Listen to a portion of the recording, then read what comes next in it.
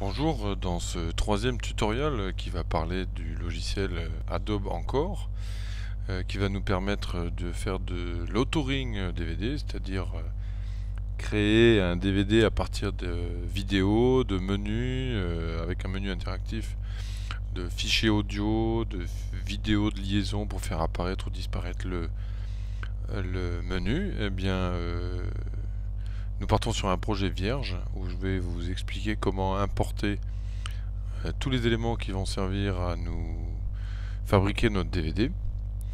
Alors j'ai pris un peu la liberté de préparer ça un petit peu en avance hein, avec des petites vidéos euh, qui vont me servir d'introduction, d'apparition de mon menu. Euh, ensuite quand je cliquerai sur un bouton, j'aurai mon menu sera de nouveau animé pour disparaître et faire ainsi apparaître la, ma vidéo, etc. etc. Donc première euh, étape, c'est d'importer tous les éléments qui vont me servir à créer mon DVD. Donc j'ai plusieurs possibilités, enfin il y a au moins deux. C'est fichier euh, importer comme élément, menu, montage ou diaporama les éléments dont je vais avoir besoin. Alors moi, pour pas changer mon écran, puis c'est par habitude, je fais carrément dans mon onglet projet, un clic droit dans la zone vide et j'importe comme éléments. Alors, les éléments euh, sont ceux qui me serviront à, par exemple, tourner en fond de tâche en attente d'action, comme par exemple une musique. Hein. donc, j'en ai préparé une, donc je vais l'importer tout de suite. Donc, ça sera pour moi, ça sera un élément.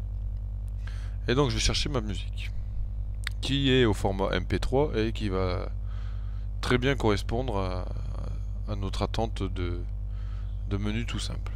Donc ça, j'ai un premier élément qui s'appelle donc fichier audio et qui est un, une musique qui tournera en boucle sur mon menu. Ensuite, je vais importer mon menu. Donc mon menu a été construit euh, sur Photoshop. Ce ne sera pas celui que vous avez déjà vu dans un autre tutoriel, euh, mais ce sera euh, un menu identique avec deux boutons qui me permettront de lancer deux vidéos.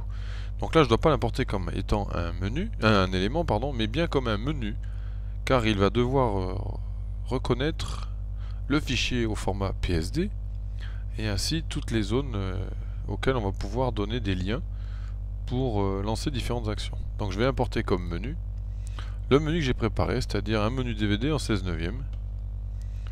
Tout simple. Donc voilà, il s'importe.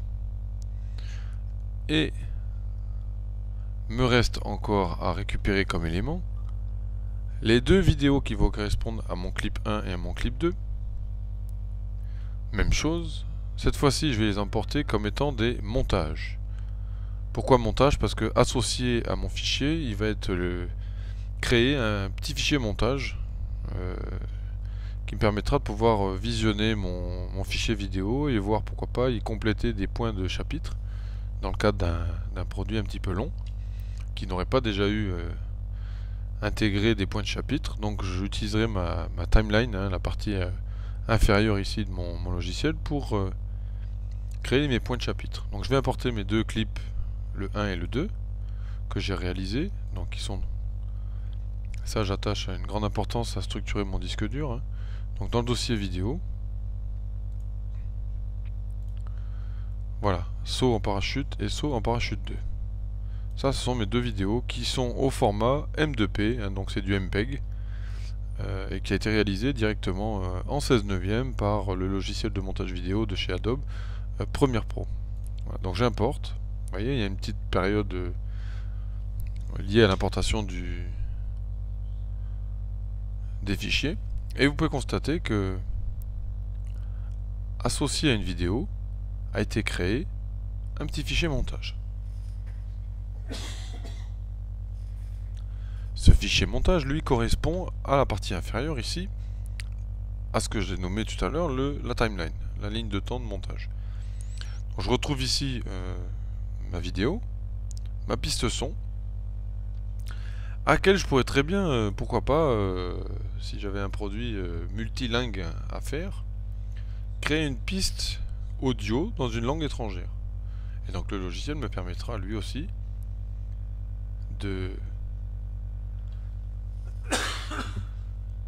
me permettra lui aussi de faire un choix de langue dans le menu. On n'apprendra pas ça parce que c'est encore un petit peu compliqué. On va juste s'attacher à créer un menu, à créer une structure d'un DVD et ensuite à, à, faire un aperçu de ce montage. Donc il me reste euh, un petit plus que j'ai fabriqué vite fait euh, en montage avec Adobe Premiere. C'est euh, une animation du menu hein, que j'ai fait vite fait. Donc je vais importer mes éléments toujours en tant que montage. Voilà, c'est mon menu in et mon menu out. Je les importe et je les ai. Chose très importante à réaliser maintenant dans la structure de mon DVD, c'est lui préciser quel sera l'élément lu en premier lorsque je mettrai mon DVD dans mon lecteur du salon. Alors c'est une chose très simple. Et il faut euh, écrire un petit peu avant euh, sur un petit bout de papier pour dire bah voilà, avec les éléments que j'ai préparés, je veux que ma structure de DVD soit de telle façon. Donc pour ce faire, je vais en, consultant le petit bout de papier que j'avais préparé avant pour, créer ma structure de DVD, désigner quel élément qui sera lu en premier quand j'introduirai mon DVD dans mon lecteur. Je veux que, par exemple, ce soit mon intro menu qui soit lu en premier. Donc je clique pas sur le fichier vidéo lié, hein, parce que vous voyez, il y a une petite euh, ligne euh, à cocher, définir un lien en premier, qui est grisée que lorsque je prends mon fichier vidéo. C'est pour ça qu'il faut bien que j'importe ma vidéo en tant que montage et non pas en tant qu'un élément.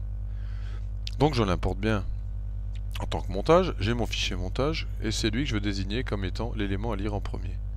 Quand je valide, regardez, j'ai un tout petit visuel jaune qui a la caractéristique de me rappeler que c'est ce fichier là qui sera lu en premier. Si vous vous souvenez, je vous avais présenté dans l'interface l'organigramme de mon DVD. Je dois retrouver normalement le nom de mon projet ainsi que le fichier qui va suivre et qui va lire. Vous voyez comment ça se présente dans la partie supérieure, tous les éléments qui ont maintenant une fonction dans mon DVD. Pour l'instant, il n'y en a qu'un. Et ensuite, en dessous, tous les éléments que j'ai importés, mais qui n'ont pour l'instant pas de fonction. Donc j'ai bien mon DVD. Avec mon élément à lire en premier, c'est mon animation de menu. Voilà. Donc là, ça confirme mon début de structure. Ce que je vais faire maintenant, c'est que je vais continuer à structurer mon DVD.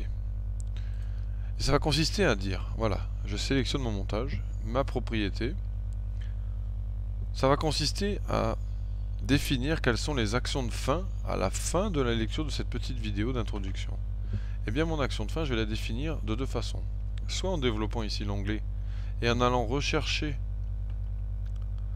l'élément qui correspond à ce que je veux voir apparaître. Donc en l'occurrence, après l'apparition animée de mon menu, ce que je veux voir, eh bien c'est mon menu. Et je peux déjà lui préciser, soit si je veux avoir mon visuel, souvenez-vous qu'il y a la création du fichier Photoshop est caché, soit ça sera le 1 ou le 2 qui sera activé par, par défaut. Donc moi je vais choisir le 1. Donc j'ai bien en action de fin de mon montage, l'apparition de mon menu, qui va se prépositionner déjà avec le visuel sur le clip numéro 1. Maintenant, je vais dans l'aperçu de mon menu, que je retrouve ici. Regardez, les zones vertes sont des zones réceptrices d'une fonction. Et si je regarde dans mon panneau propriété, une fois que j'ai sélectionné ces zones, je vois que j'ai pas de lien défini. Donc là, je vais devoir je vais devoir pardon définir le lien qui va faire que quand je vais valider cette action sur ma télécommande de DVD, je vais lancer telle ou telle vidéo.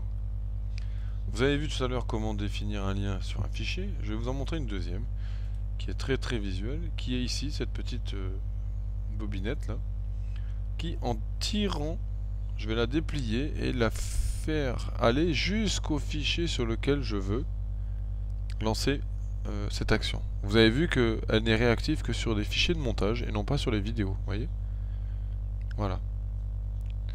Je relâche et le lien est ainsi fait que lorsque je vais lancer et valider cette opération sur mon menu DVD, je vais pouvoir lancer ma vidéo saut parachute. Attention toutefois, si dans les préférences du logiciel vous n'avez pas été modifier la synchronisation du texte.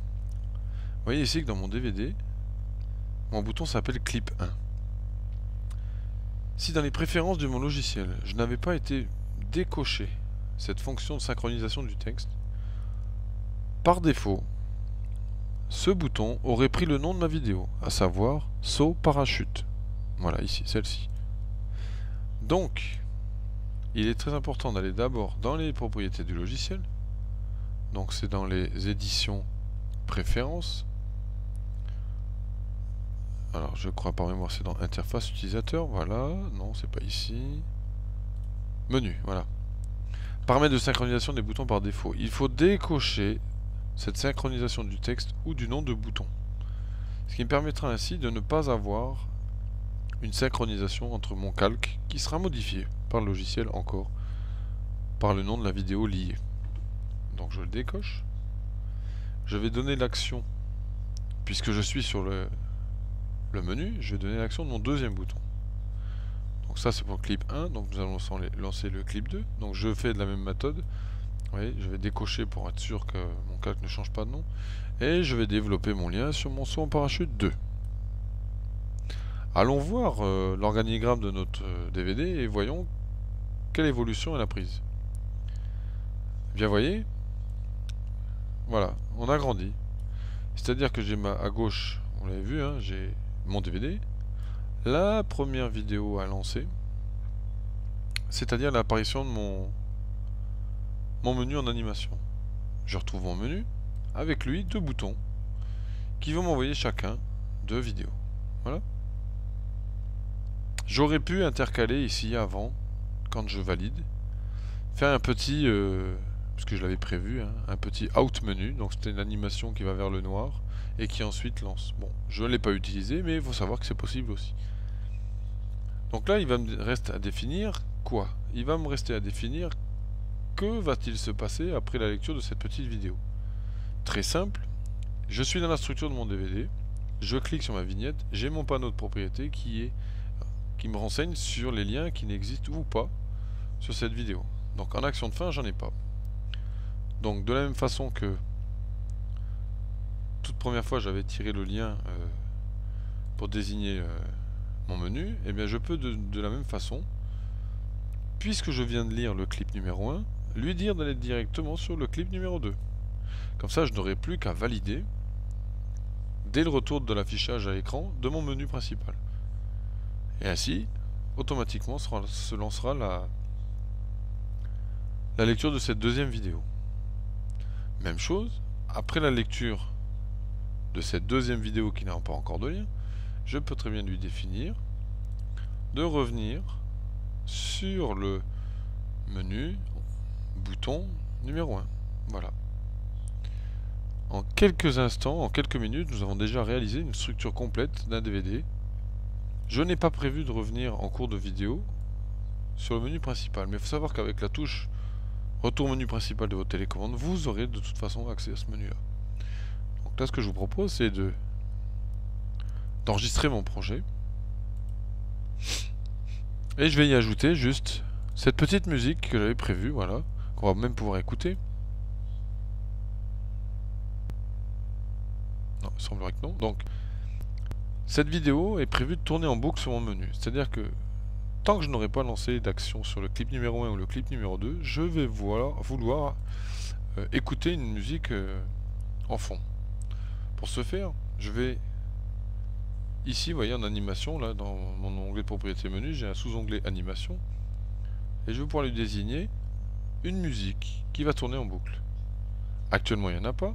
Donc je vais tirer le lien, comme je vous ai déjà montré, en tirant le fil sur mon fichier musique. Alors vous avez vu là c'est un élément qu'on avait importé et je peux tirer le lien pour une animation de menu directement sur un élément. J'ai pas besoin euh, de choisir un autre fichier ou une autre... Euh, Donc ça fonctionne. Il a bien pris en compte. Je sais que mon morceau de musique dure 2 minutes 14. Pour assurer le coup, si jamais c'est un menu de présentation euh, entreprise, etc., et que je sais qu'il peut très bien y avoir un délai supérieur d'attente avant une action, je peux très bien lui demander d'animer toujours cette boucle. C'est-à-dire qu'une fois qu'il va arriver à la fin, il sera rejoué indéfiniment. Voilà. Je vais pouvoir maintenant faire un, petit aperçu. Donc en faisant fichier euh,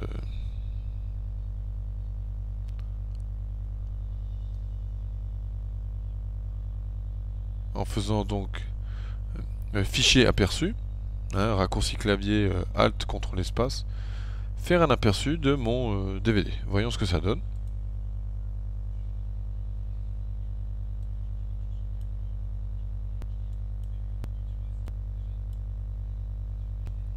On calcul calculer un petit peu long.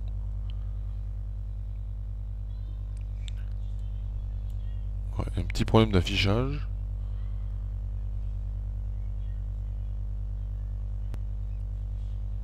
Ça fonctionne pas du tout. Donc on n'a pas vu l'introduction euh, de mon menu, mais euh, on entend bien la musique. Et je peux d'ailleurs lancer mon clip directement. Hein, je disais, on n'a pas bien entendu l'intro arriver, mais je peux lancer mon clip.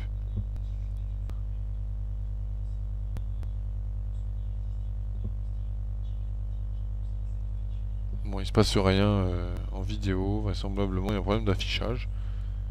Mais c'est par ce biais-là que je vais pouvoir tester mon menu. Alors j'ai une dernière possibilité, c'est en allant dans l'onglet Générer, vérifier le projet. Donc là, il va tout me tester.